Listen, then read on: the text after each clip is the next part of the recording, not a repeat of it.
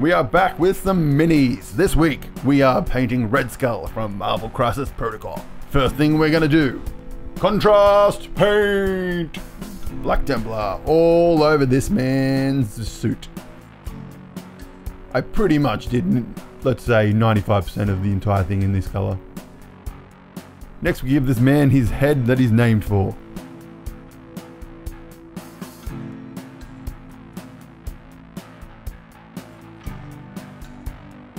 Here I'm just putting some white on his undershirt and a couple of other areas that have got a bit of the black contrast paint on. Also got a little dot on his head so uh, we'll fix that later. Let's get this darkish yellow all over his belt that runs over his body.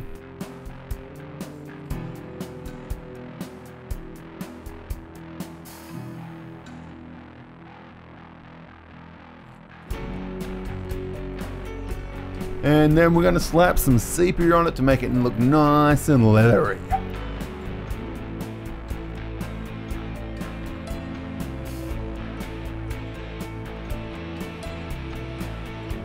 Alrighty, here I'm just putting some blue ink onto his shirt.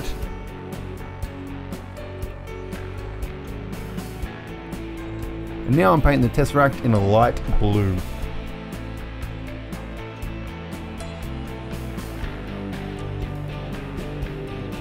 Here I'm painting white on the Hydra logo on his shoulder. And then I gave an attempt at doing a couple little power squiggles on the cube.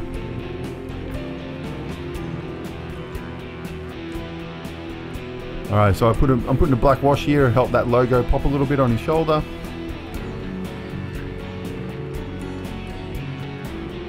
I decided the cube needed to be darker a little bit, so I got some ink and uh, slapped some blue ink on it.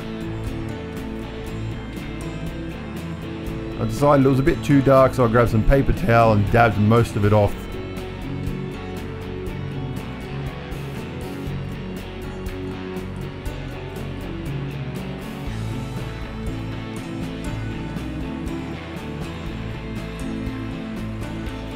Alright, now we're onto the base. Let's paint that guy in some dark grey.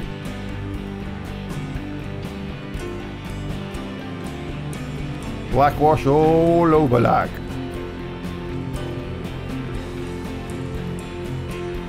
Heavy light grey dry brush.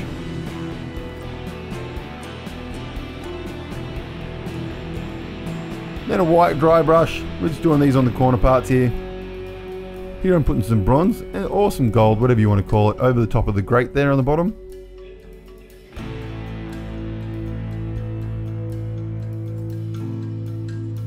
Now I'm putting some weathering rust texture over the top of that and then I'm going to dab most of it off with a paper towel, letting that gold just shine through on the tops.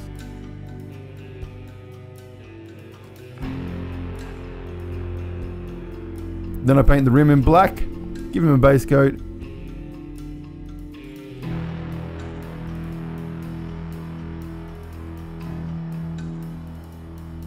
And my main man is done. Look at that. Table ready.